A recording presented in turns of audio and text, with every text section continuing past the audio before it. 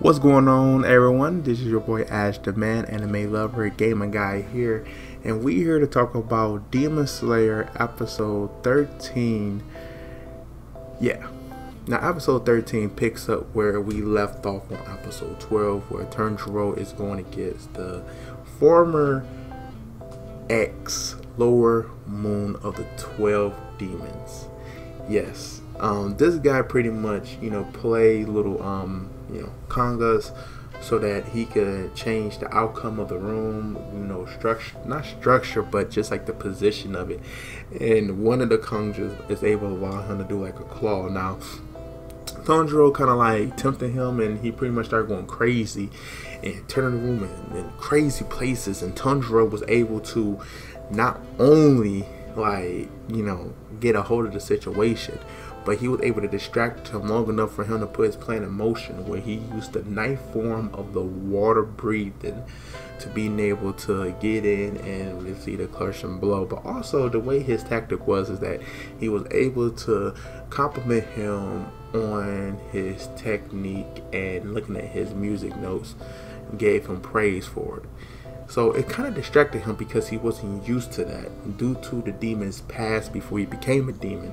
Um, I guess it was his master that told him that his like his music notes and stuff was born and didn't have any elegance it didn't have that push and stuff like that so he became a demon ripped his master to shreds and i guess that's where it started off for him but before his body disintegrated going into god knows demon hell or something he pretty much asked Tanjiro what he seriously he like that he said it was amazing but I just can't forgive you for killing him as of course because he's a demon slayer and he's there to save people.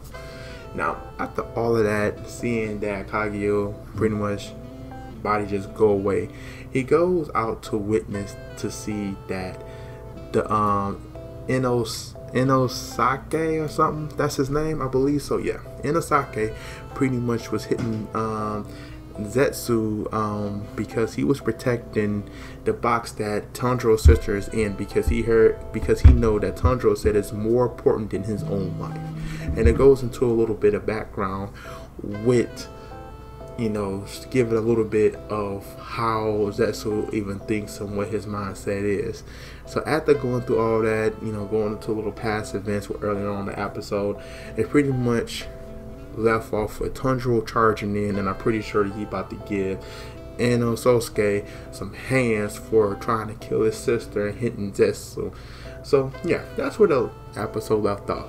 Great episode. I loved it, liked it everything about this episode was pretty good. And I think Demon Slayer, again, is a great anime. It's definitely jumping off at the right atmosphere. We 13 episodes in, and I love every episode so far. It had a little bit quiet moments sometimes, but I believe that they provide enough action for you to be satisfied with informational episodes, build up episodes. So yeah, we definitely in there. I just want to thank you guys for definitely tuning in for this review.